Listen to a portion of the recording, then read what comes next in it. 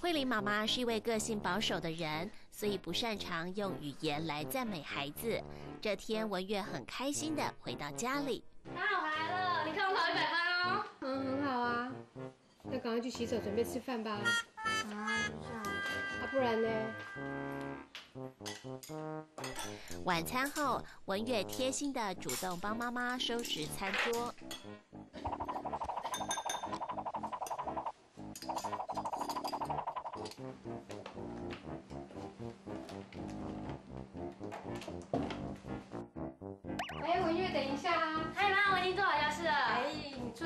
很开心，不过下次擦桌子的时候啊，这个要折好再来擦。还有啊，桌子也要靠好，事情不要只有做一半，好吗？我真的不要帮你做家事。你是否也有同样的困扰？明明想要赞美孩子，可是却说不出口呢？爸爸妈妈们别再烦恼了，就让今天的幸福专家来传授大家最实用的赞美技巧吧。哇，今天我们要讨论的主题呢，真的和过年的气氛很搭哦，因为我们要讨论赞美的艺术，就是要口说好话嘛。我们先来看看现场的好朋友有哪些呢？先欢迎幸福专家吴娟宇老师。耶，大家好。吴娟宇老师幽默风趣，擅长以寓教于乐的方式带领亲子共同学习，一起成长。可爱的慧玲老师。王慧玲，台北市西园国小老师，任教二十七年，教学经验丰富，是孩子和家长之间最佳的沟通桥梁。还有六位爸爸妈妈代表，现场可爱的小孩，你们是哪个学校的啊？哦，小孩这么有精神呢，那我们来看看哦，不知道爸爸妈妈们在家里最常对小孩说的赞美的话是什么呢？孩子，你好可爱哦！越看你越爱，我来抱抱你。当我的孩子在写功课的时候呢，我会跟他讲说：“你的字越写越漂亮哦。”哇，你好厉害哦！这个很难呢，你做到了，真的很棒哎！我会给他一个大大的拥抱，然后在他的脸上亲一下。宝贝，你真是太厉害了，太棒了！这么难的作品都可以做得这么好哦。嗯，两个都做不错，加油！年初二口说好话，老师，嘿，觉得刚刚爸爸妈妈们的赞美怎么样？一个发现很有趣，嗯，我们都很爱我们的孩子，嗯，也乐意去帮助他发现自己来成长，这是对的，嗯，只是有时候赞美的时候，口气、语调、表情不搭不搭。我觉得那个赞美哦，就是要具体化。如果我们只是赞美小朋友的外观，长得好、长得漂亮、长得帅。这个是天生父母给予的，而不是小孩子自自己努力的。嗯，所以我们要赞美的是他的能力，他的表现。很重要的是，你的眼神跟肢体一定要搭配哦，千万不要像刚才的这个，呃，影片当中的，就完全没有跟你的小孩子有任何的交集，那小朋友就会心灰意冷。可是我刚刚是发现爸爸妈妈的词，蛮少的，真好啊，好棒啊，就是这种虚无缥缈的感觉蛮多的。先问小孩，来来来。来，请问哦，常常听到人家赞美你的小朋友，请打圈；蛮少听到的人，请打叉。我做的是那个很少被别人赞美，所以就想说很没很少人赞美我，就不太喜欢了。那你不喜欢人家赞美你，还是喜欢？嗯，还好。常常听到人家赞美的哦，东哲说说看。通常别人都说我非常的帅。哦，非常的帅。好，那你你感觉怎么样？我感觉非常的好，因为别人赞美我，就会觉得非常的开心。哦，你觉得自己很帅嘛，对不对？好，看得出来他觉得好。好，蛮喜欢听到人家说赞美的人打圈。敏成说看，没有很喜欢，为什么？因为有些人的赞美都是很假，例如，就是比如说他无聊的时候，他就会来说什么“你很帅”之类的话。所以你觉得他的赞美不是真心的，嗯，所以你也不想听。嗯，俊老师，是我们以前没想过，小孩有可能觉得我们的赞美假假的。所以刚刚慧玲老师也讲得很好，他说要身心合一，给孩子相信嘛。嗯，所以一般在沟通上，我们不常讲说肢体语言占五十五重要性。语调占三十八，嗯，然后内容才占七，所以讲的那个话，如果不对的时候，小孩是没有办法相信，他就觉得对他没有帮助。比如说，我爱你哦，那孩子就哪有爱，更没有。嗯，我爱你哦，比较大声哦，我告诉你，我爱你哦，没有人会相信。好可怕的爱呀！所以最棒的是耶，好爱你耶。那个肢体动作，那个整个是由衷而散发出来，他会相信。好，刚刚觉得君玉老师是真心爱你的人，打圈。好，还是觉得您是真的，君老师，你你 pass 了，你 pass 了。好，我们来问问看哦，你看这边呢是我们做的调查，我们发现呢，常常听到别人赞美的小孩，其实只有百分之十六，其实百分之五十三是偶尔。然后我就看到这个没有跟很少的。百分之三十一哦，你的爸爸妈妈最常因为什么事赞美你？很细心、自动自发、做家事、帮助别人哦。但是其实最多的是考试，嗯，跟做家事。好，如果你表现得很好，可是爸妈却没有赞美你，你的心情是百分之六十九是没有差别。然后呢，很伤心、很生气的也有。老师，这个数据里面有一个暗示，对不对？对，老师，就说他会伤心，他会生气。代表他是有感觉的小孩啊，嗯，那家里面本来互动就是要有感觉啊，嗯，那个已经没差别，那就很可惜。所以爸爸妈妈要看得懂孩子的肢体反应、感受，要看出来他有需要哦。所以你的意思是说，这百分之六十九其实应该也是很想要的吗？他只是不知道可以要，从小就没有享受过被赞美的乐趣，那很可惜啊。还是说他只是掩饰？嗯，我没差，对。对，可其实他心里对。也有可能，对是。哦，也有可能。那我们就要问妈妈了。在家里，其实我是比较严格的妈妈，嗯，但是呢，有些时候我觉得适度的要给他拥抱，嗯，让他觉得说，当他其实我会坚持他叫他做要不想做的事情，当他做到的时候，他就会很高兴，然后我很有成就的告诉他，哎呀，真的好棒哦，我就这样抱他一下，嗯，我就会这样子告诉他。因为我两个都是女儿嘛，哈，嗯。如果功课像字写漂亮的话，就说哎，写不错，比爸爸的还漂亮。所以现场爸爸妈妈觉得赞美很重要的人打圈，大家都觉得很重要。哎，对。所以娟玉老师是重要在哪里？或透过妈妈爸爸能够启发他的善良啦、智慧啊、成长啊。那是很重要哦，所以赞美就是为了加强他的自信跟潜力。对，没错，其实就是自信心的提升。他觉得说，嗯，我是一个有用的人，而且啊，常常在接受赞美的小孩子，其实他也会懂得去欣赏别人的优点，而不去抓别人的小错。但是如果大家都觉得赞美这么重要，可是老师怎么刚刚赞美的台词这么少啊？我跟你讲，这个因为从小他的爸爸妈妈。不然你问一句啊，你爸爸妈妈常会赞美你常常小时候就被爸爸妈妈赞美的，蛮多的人，请打圈。哇，全部都打叉。小时候啊，妈妈总是那个也是好像很怕说，如果今天赞美我们哈，好像好像那种比较传统的观念，嗯，你还可以很求，就是好像不好的地方会提出来纠正，但是只要看到你好的地方，很比较吝啬赞美。哦，那你现在自己不这么觉得吗？当然啦，觉得说我们如果说在骂小孩的时候，他当然他就很沮丧的脸，我们也跟着很沮丧，给他一句赞美啊，他哇他就会比比较糗啊，就是好像嘿呃，其实他内心是很开心的，嗯，那我们就会觉得也很开心，就觉得说其实鼓励他，让他有正向，他会下次做的更好。对，哦，所以君宇老师是。我们词这么少，也有可能是因为我们以前的接受很少，没没有学到怎么去赞美人。但是现在的爸爸妈妈也很可爱，嗯，是努力要去学赞美孩子，可是有的太过了哦。好，那现在既然我们都知道赞美这么重要哦，那我们就要来测测大家哦，你的赞美说对了吗？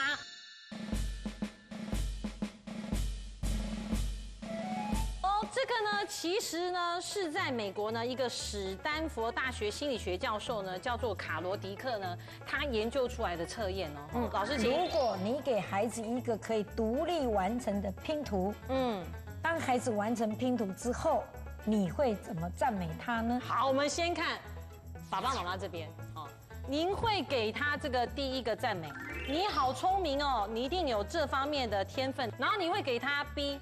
你一定是很努力才能顺利完成的，就举 B，三 A 三 B 刚好一半一半，哦，好，这边先等一下，我们要问小孩了。小孩准备喽。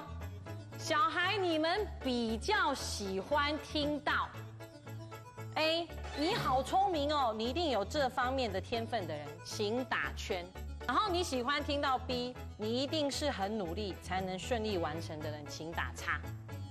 喜欢听到 A 的人，为什么？谁要说说看？因为这样子比较有成就，能自己完成这么难的拼图。那你不喜欢 B 吗？B 就是感觉。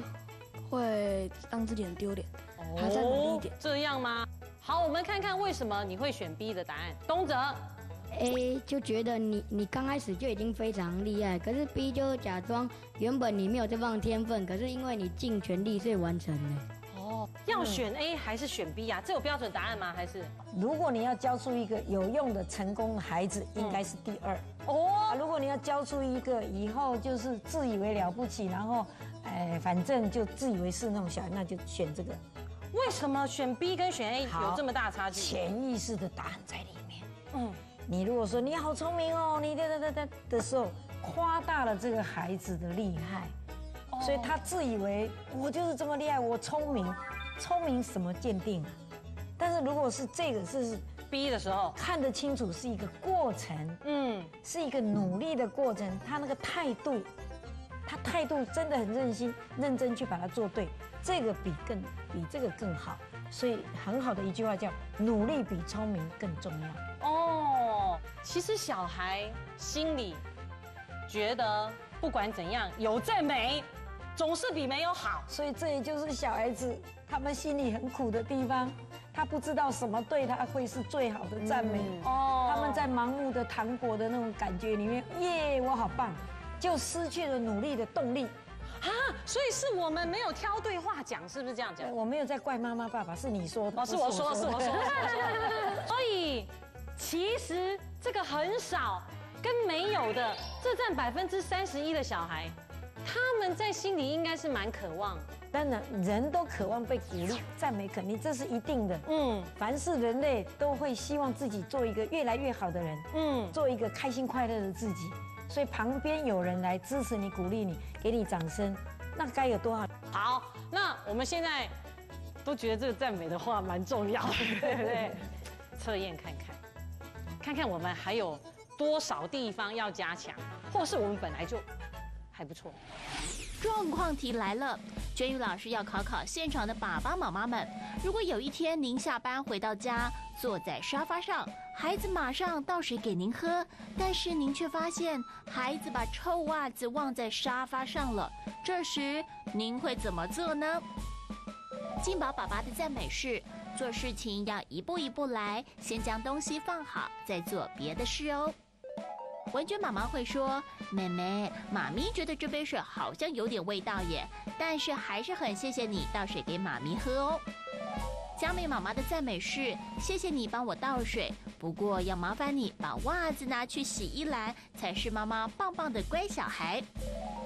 雅慧妈妈会说：哎呀，这个袜子是谁的？是要搭配水用的吗？静茹妈妈会说：你是个贴心的孩子，如果卫生习惯可以改善，就更完美喽。佩金妈妈的赞美是：谢谢你的开水，让我很高兴。可以请你将加料的香香袜拿到它该去的地方吗？哎，小朋友来了，票选票选，好，最喜欢的是爸爸的答案的人，请打圈。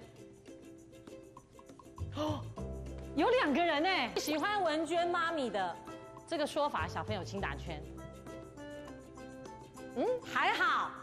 目前还没有支持票数，喜欢佳美妈咪的请打圈，拉票，有三个人选呢，比较不会很严肃。哦，哎，我看不出来你这么用的人喜欢听“棒棒乖小孩”这个词，所以外表跟内在不是符合的哦。哦，好了解。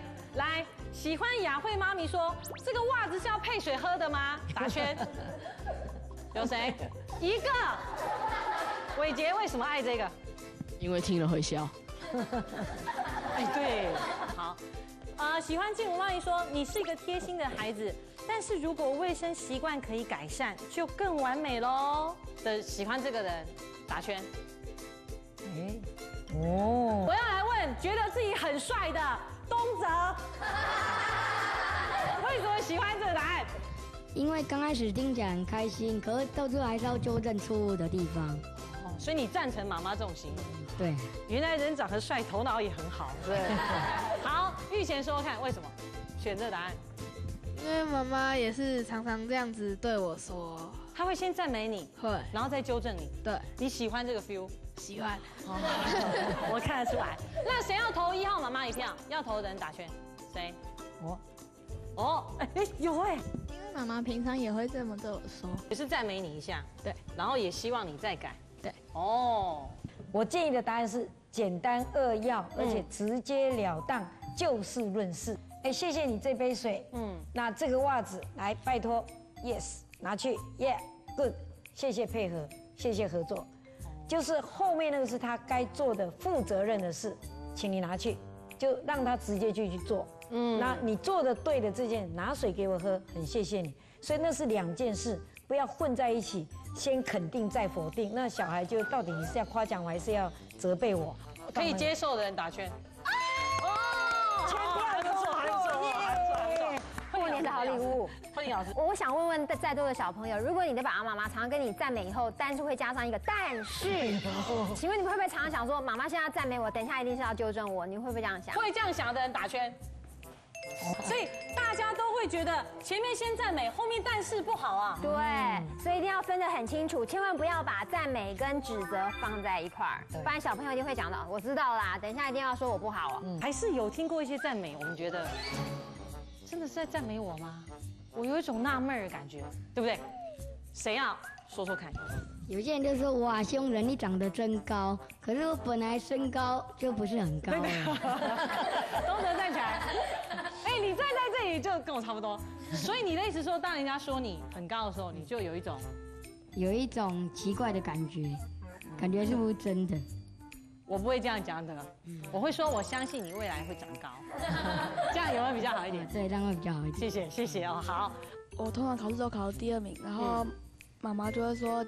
再加油一点，就离第一名很近的。所以是在赞美你考第二名，还是叫你赶快考第一名？你知道是哪一个吗？不知道。哦，那这样算是赞美你吗？你觉得？呃，可能算是，也可能不算是。我记得我有有考第一名的时候，我爸爸就跟我说：“考第一名啊，你不要太骄傲，你要下次得考第一名，那才比较厉害。”哎，对。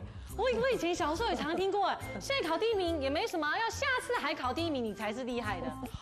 这让我有一种，这不叫赞美哎，感觉被浇冷水的感觉。哦，君老师，所以刚刚那位同学陈同学有没有做第二？他说他考第二名，然后爸爸说距离第一名不远了，对不对？这句话如果从幽默角度来看，也还算不错。对，如果他身心成熟到够可以承受，那但是如果一个小孩来看，他会感到很矛盾。嗯，我已经努力了，我还有一个第一名的责任在那里，压力会很大。那怎么换这句话会比较好？嗯，哎，宝贝，你考第二名了哦，你已经尽力了，不错，嗯，就好了，哦，就好啦，就好啦。可是我们有千千万万个期许，不用再讲了。他自然，不用再讲啊，不 不用再讲啊，不用不用，你你们就知道了，就知道了。好，我们不用再说，希望你下次考第一这种，不用讲了。对，就现在的事就现在了结。你现在考来的成绩分数，哎，不错，哎，很不错，你已经尽力就好了。不要又讲到说我相信你怎样的，那他会又又感到下一个力压力。好，好。那慧老师告诉我们，赞美的大忌是什么？第一，就是我刚刚说的那种天生的，不要赞美，要他后天的努力的，他才知道说哦，我要靠我的努力才有成。那第二个呢，很抽象。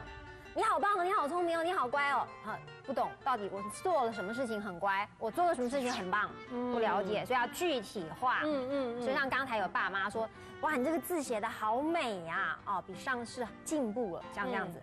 第三个呢，不要批评加赞美，你像我刚说的，不要但是，对你考第二名好棒哦，但是接着要考第一名哦，像这种哇。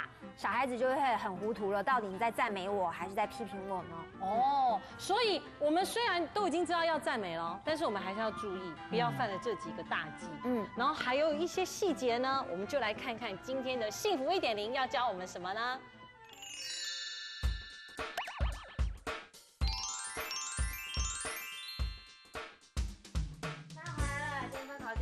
很多爸爸妈妈都不知道要如何说出赞美的话来鼓励孩子。慧玲妈妈为了拉近和孩子之间的距离，努力学习赞美的技巧。今天就要和大家来分享她的努力心得哦。赞美别人真的是需要练习的。慧玲妈妈经过多次沙盘演练之后，整理出三个诀窍，就是及时、真诚、具体。哦，自动自发帮我折衣服，哎，真是太棒了，谢谢，快乐。有句话说，给七分表现的孩子十二分的赞美。尽管孩子的表现并没有达到一百分，慧玲妈妈还是会先赞美孩子的行为，然后告诉孩子需要改善的地方，最后再对孩子的整体表现给予正向的肯定。